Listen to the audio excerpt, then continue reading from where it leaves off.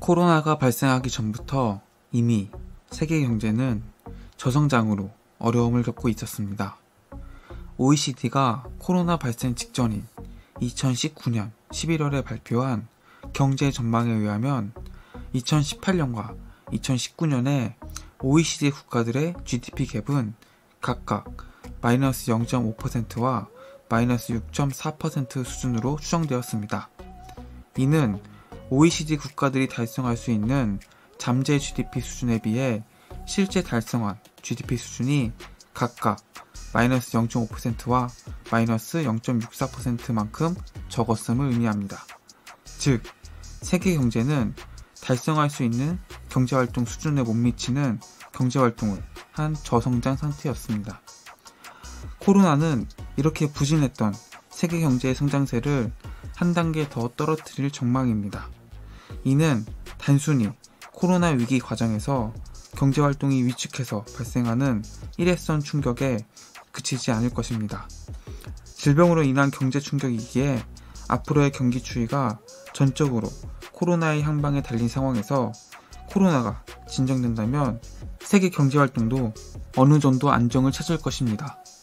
사회적 거리두기, 셧다운 조치 등이 완화되거나 종료되면 끊겼던 기업의 매출과 줄어들었던 가게의 소득도 어느 정도 회복될 것입니다.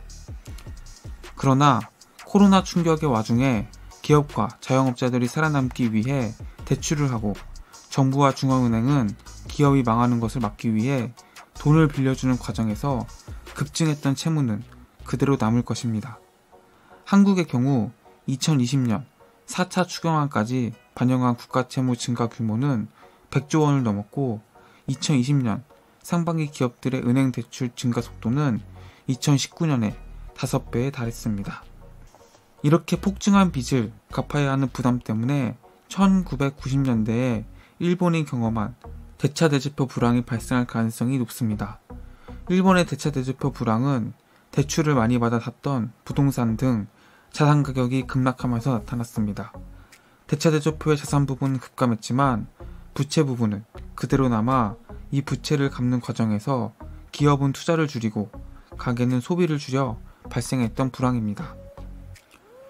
앞으로 한국을 비롯해 많은 국가에서 발생할 대차 대조표 불황은 일본의 불황과 비슷한 결과를 초래할 것입니다. 자산의 급감이 아니라 부채의 단기간 폭증으로 인해 부채를 갚는 부담이 늘어나기 때문입니다. 하지만 기업의 투자 축소, 가계의 소비 위축이 경기를 악화시키고 경기 악화가 기업의 매출 감소, 가계의 소득 감소로 이어져 불황을 심화시키는 결과는 비슷할 것입니다. 결국 코로나 과정에서 폭증한 부채로 인해 향후 저성장이 심화되고 성장세가 한 단계 낮아질 가능성이 높습니다.